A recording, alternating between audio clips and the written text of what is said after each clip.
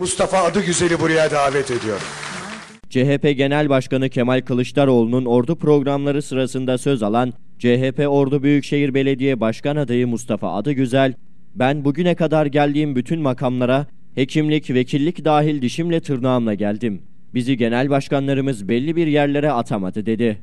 Boztepe'de düzenlenen muhtarlar toplantısında Genel Başkan Kılıçdaroğlu öncesinde kürsüye çıkan Doktor Mustafa Adıgüzel, AK Parti ve Saadet Partisi Büyükşehir Belediye Başkan adaylarının partilerinin genel başkanları vasıtasıyla bir yerlere geldiklerine işaret etti. farklı bir ele, tatlı bir dile ihtiyaç var. Şimdi bu iki eski bakan aslında bence torun sevme zamanlarında e, gelmiş, e, emekli olmuş. Sayın Genel Başkan ya- ba- Başkanlarının, Sayın Erdoğan'ın verdiği görevle, makam mevkiyle bakan olmuş. Görevlerini yapmışlar, emekli olup kenara çekilmesi gereken bir dönemde tekrar sahaya itildiler.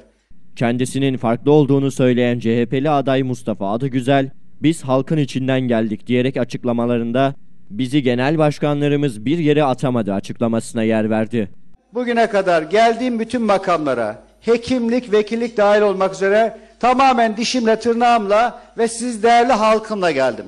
Ben Sayın Genel Başkan yardım e, Sayın Genel Başkanım Kemal Kılıçdaroğlu'nu ilk olarak Ordu'da Cumhuriyet Meydanı'nda ön seçimden sizin beni sıraya sokmanızla ilk defa kendisini Ordu'da Cumhuriyet Meydanı'nda mitingde karşılaştım ve elini sıktım. Yani bizi genel başkanlarımız belli bir yerlere böyle atamadı sevgili kardeşlerim. Biz halkın içerisinden geldik ve genel başkanlarımızın da takdimiyle burada şimdi size Büyükşehir Belediye Başkanı adayı olduk.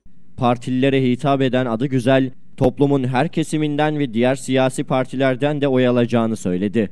Ben bu partiyi Sayın Genel Başkanı'ndan üyesine kadar Anafarta Ovası'na, Zafer Ovası'na götürmeyi teklif eden ve bunu uygulayan kişiyim. Dolayısıyla milliyetçilerden oy istiyorum ve milliyetçilerden oy alacağım.